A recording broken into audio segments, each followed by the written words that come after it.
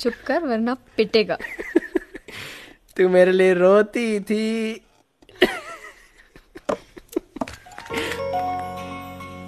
I hate you I love you too